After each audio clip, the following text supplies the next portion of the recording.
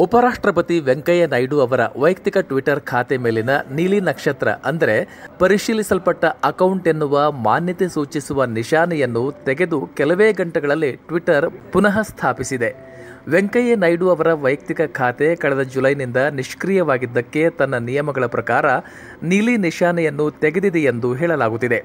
ಇದಲ್ಲದೆ ಆರ್ಎಸ್ಎಸ್ ಪ್ರಮುಖರಾದ ಮೋಹನ್ ಭಾಗವತ್, ಸಂಘ ಪರಿವಾರದ ಸದಸ್ಯರಾದ ಸುರೇಶ್ ಸೋನಿ, ಅರುಣ್ ಕುಮಾರ್, ಕೃಷ್ಣ ಗೋಪಾಲ್, ಸುರೇಶ್ ಜೋಶಿ ಅವರುಗಳ ಕಡೆಯಿಂದಲೂ ನೀಲಿ ನಿಶಾನೆ ತೆಗೆಯಲಾಗಿದೆ. ಸಾಮಾಜಿಕ ಜಾಲತಾಣಗಳನ್ನು ನಿಯಂತ್ರಿಸಲು ಕೇಂದ್ರ ಸರ್ಕಾರ ಹೊರಡಿಸಿರುವ ನೀತಿಯ ವಿರುದ್ಧ ಕೋರ್ಟ್ ಮೊರೆ ಹೋಗಿರುವ ಟ್ವಿಟ್ಟರ್ ಇದೇ ಸಂದರ್ಭದಲ್ಲಿ ಹೀಗೆ ಮಾಡಿರುವುದು ಅನುಮಾನಕ್ಕೆ ಎಡೆ ಮಾಡಿಕೊಟ್ಟಿದೆ.